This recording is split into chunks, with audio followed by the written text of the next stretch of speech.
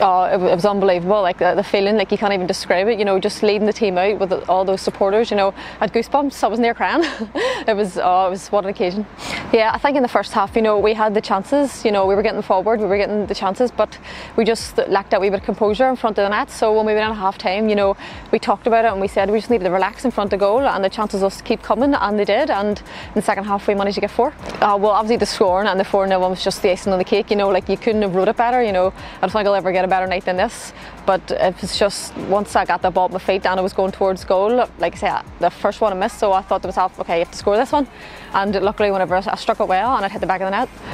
Um, well, obviously, you know, I started quite, was it 10, 11 years ago, and um, you know, it's very different to then. You know, I think the confidence that we have in ourselves now is miles apart from what it was, and that's why we are getting the win. You know, we the belief that um, Kenny and the rest staff has us has been such a change. And you know, we go out every game expecting not only ourselves but the fans and the staff expect us to win. You know, that's the team we are now. We're expected to go out and win, and hopefully we can keep going for as long as we can. Oh yeah, of course. You know, like we want to keep this going as long as possible. You know, hopefully sooner uh, or, or later, you know, a lot of those young girls will be up in playing. You know, so we, we want to show them what it's like. You know, once you get on that pitch, like the feeling, like there's no feeling like it. Like you can't even describe it. So hopefully them and seeing us doing this and how well we're doing at the minute will encourage them as they get involved and want to play more.